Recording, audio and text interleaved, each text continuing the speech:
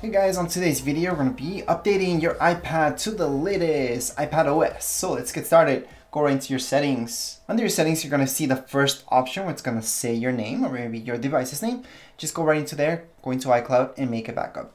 Got no more space on iCloud? Don't worry about it. Just use your computer, iTunes in order to make that backup or on Mac, you guys can use Finder. Also, if you're having any problems with this update or any update for that matter, you can always do it from your computer as well using the set programs. Anyways, once we do that, we can scroll down. We can go into General. Under General, you're gonna see Software Update. It's your second option. And from here, we're gonna see Download and Install. So let's just tap on Download and Install. It's gonna ask you for a passcode if you have one. After you put in your passcode, it's gonna start downloading. How long will this download process take? Well, it depends on your download speed. However, the entire process downloading plus installation should not take more than 15 minutes. That's if you have really slow internet. Other than that, this update isn't huge. It's pretty small update. If you would like to know exactly what this update's all about, you can click on learn more. And from here, we're gonna see all the fixes and everything that it does. The fixes are usually all the way down here. So let me just go all the way down and here we go.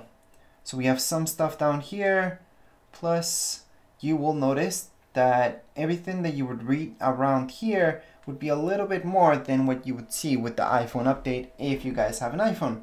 Anyways, at this point in time, it doesn't really matter if your iPad turns off for any reason because we can always download it again. However, if it does that when we're installing the actual update, that can become a problem and that's why I always suggest making that backup and that's why it's so important because if it becomes stuck at any point in time just doesn't turn on or something like that, we can always get our stuff back with our backup.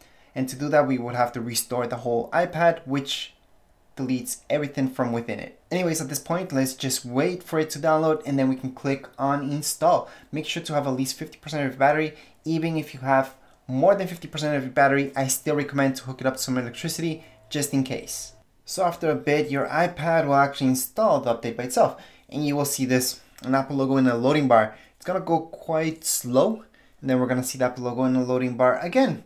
This time it's gonna be a little bit faster. At this time, you might be 10 to 15 minutes into the actual update. And this will be actually the very last time we see an Apple logo plus the loading bar. It's just gonna restart the iPad and we are done with the update.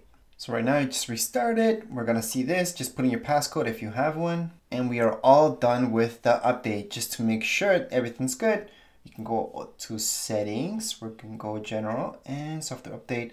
Just check that everything's there. So right now it's up to date. ipad os 14.3 is the latest one. That would be it for this video. If you guys have any questions comments you guys can write down here in comments area. Don't forget subscribe and rate. Thank you